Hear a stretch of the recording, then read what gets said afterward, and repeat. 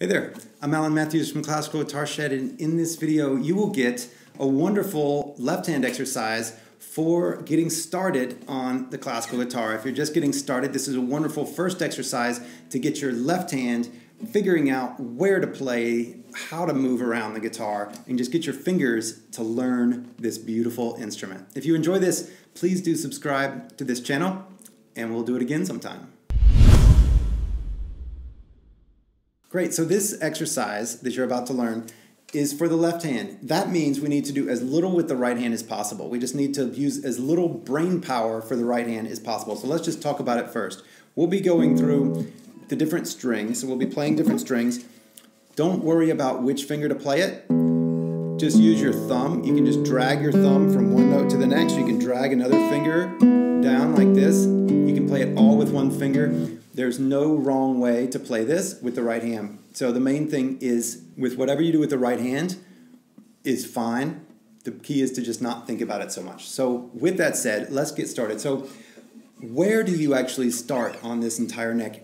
The, the, truth is it doesn't matter right so for any kind of exercises it's going to be easier further up on the neck because the frets are closer together that's the the nickel bars that are stopping the string that go across like this those are going to be closer together up here. So it might be easier up here. I'm going to do it down here just for kicks.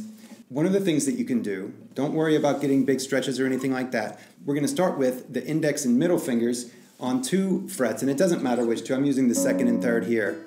But the other fingers can just float behind. They're not going to tuck like this or do anything crazy. You just want to keep your hand in a nice C shape and then just play that first finger on a note. I'm just playing this one right here.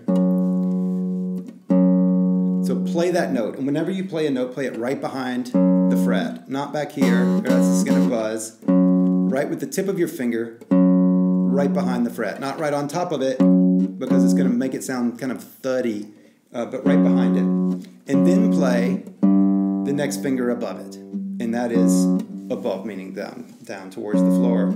The third fret.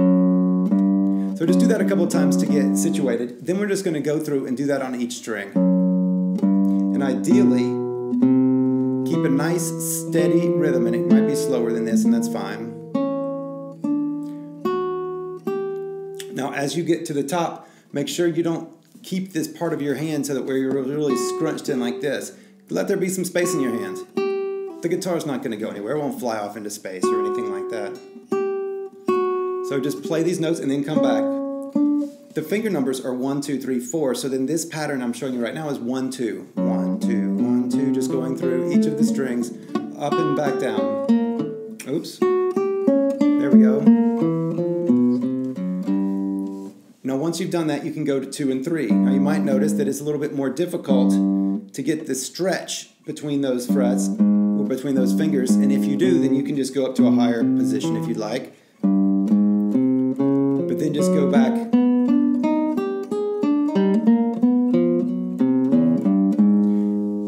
And if you play a wrong note with your right hand, just keep going. It doesn't matter.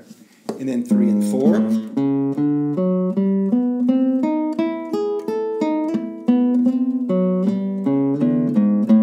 And we're just shooting for accurate placement on the string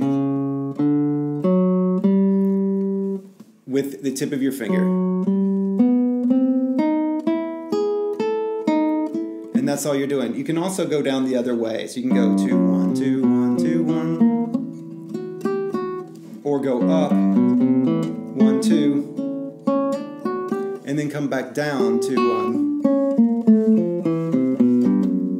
Now once you've done these finger pairs, one and two, two and three, three and four. You can also do one and three, two and four, and one and four. Those are your other options. So one and three,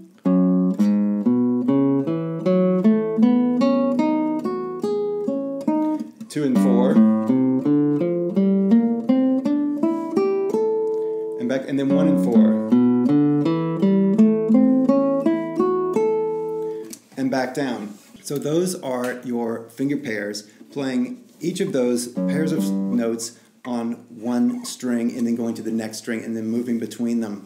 Now, this might seem like it, it is simple in conception, But it's amazing what this will do for your fingers in terms of training the accuracy and consistency and noticing your hand position. If it gets all wonky, I mean, it should be about the same on your low string as it is on your high string.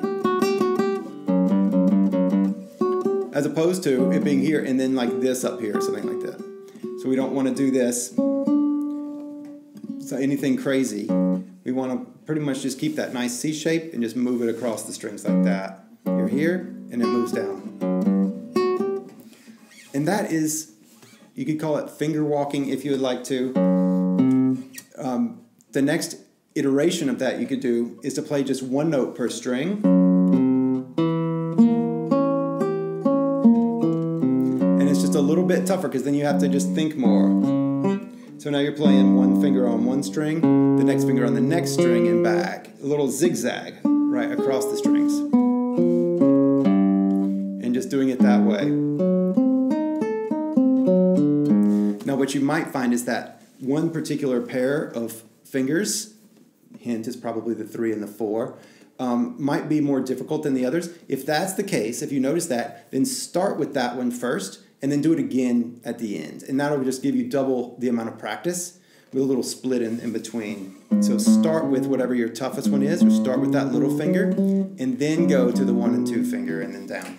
So I hope you've enjoyed this. This is just a nice classical guitar exercise for beginners. And so if that's you, then this is a perfect exercise for you.